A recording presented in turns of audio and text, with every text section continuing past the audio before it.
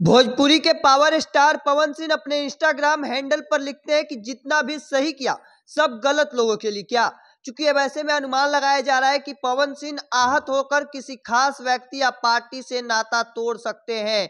चूँकि लगातार पवन सिंह इन दिनों सुर्खियों में बने हुए हैं। लोकसभा चुनाव को लेकर पहले बीजेपी आसनसोल से उन्हें टिकट देती है और उसके बाद फिर power star Pawan Singh Twitter handle पर लिखते हैं कि किसी खास कारणों से मैं चुनाव नहीं लड़ सकता है।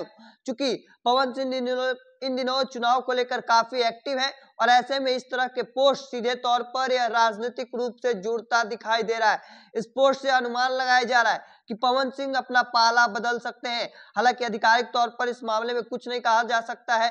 हालाँकि पवन सिंह जिस तरह से बातों को लिख रहे हैं अपने इंस्टाग्राम हैंडल पर, इसमें ऐसा तो दिखाई दे रहा है कि पवन सिंह किसी खास व्यक्ति या अपनी पार्टी से नाराज़ चल रहे हैं। क्योंकि पवन सिंह एक पाव पर जिसके लिए खड़े रहते थे, पवन सिंह नरेंद्र मोदी के लिए गाना, पवन सिंह बीजेपी के लिए कई कार्यक्रम में शरीक होना, वहाँ पर पहुंचकर कार्यक्रम करना और उसके बाद भी पवन सिंह को टिकट मिला और उसके बाद टिकट पर चुनाव न लड़ना, कहीं ना कहीं एक शंका खड़ा होता है कि पवन सिंह बीजेपी से नाराज़ चल रहे हैं। और ऐसे में अब हम कमेंट सेक्शन पर नज़र डालें तो वहाँ पर अंजना सिंह लिख रही है तो अब सही लोगों के साथ गलत मत करिएगा।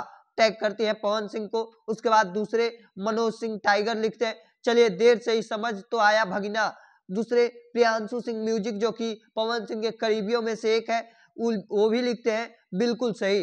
तो देखिए, ऐसे में लगातार जो अब पवन सिंह को जो चाहने वाले हैं, वो भी उन्हें सलाह देते नज़र आ रहे हैं। और ऐसे में लगातार चर्चाएँ चल रही थी कि पवन सिंह भाजपा के टिकट पर चुनाव लड़ सकते हैं और पवन सिंह को टिकट भी मिला बीजेपी की तरफ़ से आसनसोल से और उसके बाद लगातार ट्विटर पर विरोध हुआ था, जिसके बाद पवन सिंह ट्विटर हैंडल पर लिखते हैं कि मैं चुनाव नहीं लड़ सकता और उसके बाद चुनाव लड़ने से इनकार कर देते हैं। और उसके बाद, कुछ दिनों के बाद पवन सिंह अपने इंस्टाग्राम हैंडल पर यह लिखते नज़र आ रहे हैं कि जितना भी सही किया, सब गलत लोगों के लिए किया। आखिर में ऐसे वो किसके लिए करें किसी खास व्यक्ति या किसी खास पार्टी के लिए। और ऐसे में वो पार्टी जिसके लिए बीजेपी के लिए वो हर वक्त खड़े रहे। हर गाना जो है, कई गाने नरेंद्र मोदी को लेकर, कई गाने बीजेपी को लेकर, कई स्टेज शो स्टेज शो के दौरान बीजेपी कार्यक्रम में शामिल होते हैं। और वैसे में बीजेपी से टिकट मिलने के बावजूद पवन सिंह चुनाव नहीं लड़ रहे इसका खास वजह क्या हो सकता है? वो तो खुलकर नहीं सामने आ पा रहा है। लेकिन ऐसा यह वजह माना जा रहा है, कयास लगाया जा रहा है कि भारतीय जनता पार्टी से नाराज़ होकर, आहत होकर ये बातें पवन सिंह लिख सकते हैं। हालाँकि चर्चाएँ अभी चली कि पवन सिंह आरजेडी से भी चुनाव लड़ सकते हैं और बिहार के आरा से चुनाव लड़ने की संभावना जो है, वो फैंस जता रहे हैं। हालाँकि देखिए, और आगे क्या कुछ निकलकर सामने आता है, वह भी देखना दिलचस्प होगा। ऐसे में आपका क्या मानना है? कमेंट सेक्शन में रखिएगा। ऐसे ही तमाम खबरों के लिए द इंडिया टॉप देखते रहे। धन्यवाद।